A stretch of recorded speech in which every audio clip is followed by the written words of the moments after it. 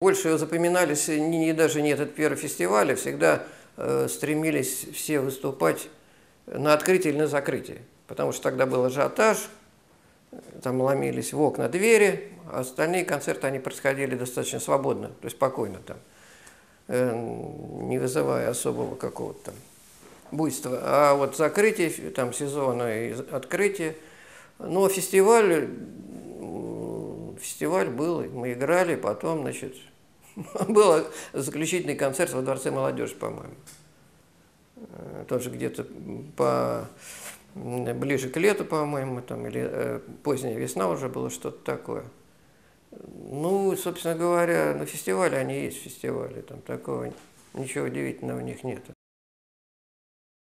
Мы ходили э, на многие концерты, то есть вызывал интерес просто какой-то. кто выступает, зачем и почему.